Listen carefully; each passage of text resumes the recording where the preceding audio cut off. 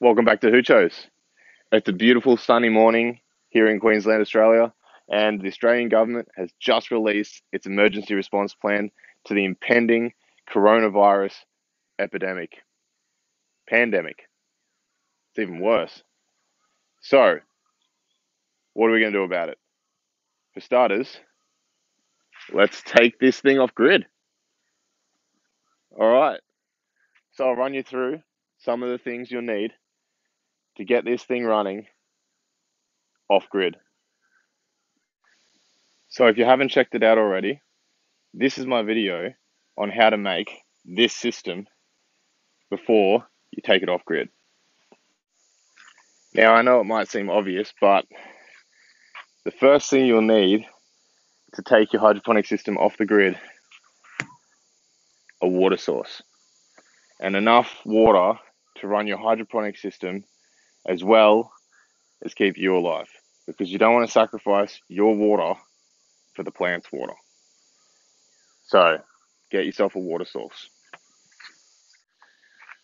So as well as your water source, you'll need a 12 volt deep cycle battery, a 12 volt pump that has a head greater than your system height, some screwdrivers, wire strippers, pliers, a solar charge controller. This is just a cheap Chinese one, but it will do for our purposes here today. A multimeter, an extension cable to run to your solar panels, and of course, you'll need your solar panels. I'll also be using some connectors and some wire crimpers, as well as some automotive wire to connect all of the components together. In addition to all this stuff, if you really want to take it truly off the grid, you'll need stockpiles of hydroponic nutrient, as well as stockpiles of seeds. To start with, I'm going to connect the battery to the solar charge controller, and then we can connect up the solar panel to the solar charge controller, as well as the load, which is the pumps. Now, I'm going to be using two 12 volt pumps to run this system. One fills the grow bed, and the other runs the NFT system. With the wire you use, make sure it's the correct gauge wire to handle the load from the pump. Now that we've got our solar charge controller wired up so that it can plug into the pump through the load socket, plug into the solar panels through the solar panel socket, and be attached to the battery through the battery socket, we can set it up next to the hydroponic system. Now we can connect up the solar charge controller to the battery.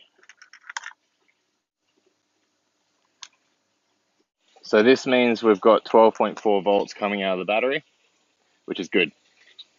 Now we can connect up the solar panels so that the battery gets charged.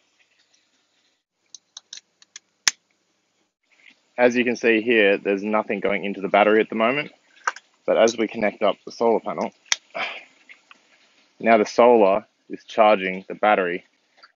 Now we can connect up our pump adapter to the wiring that's coming off the load section. Make sure to disconnect this before working on it. Also, it's best to put in a fuse for the amount of amperage that the pump draws. Now we can disconnect it from mains power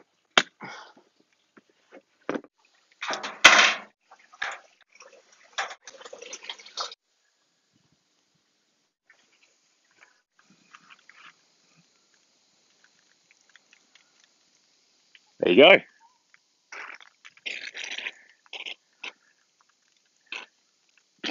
A completely solar powered NFT system. So here you can see the solar is filling the battery, which is also powering the load, and we've got a really decent amount of solar coming in. There you have it a completely off grid hydroponic system that can supply you with food through even the longest pandemic. Now, obviously, a system like this relies on the sun. So, in situations where the sun is blocked for extended periods of time, this system won't work.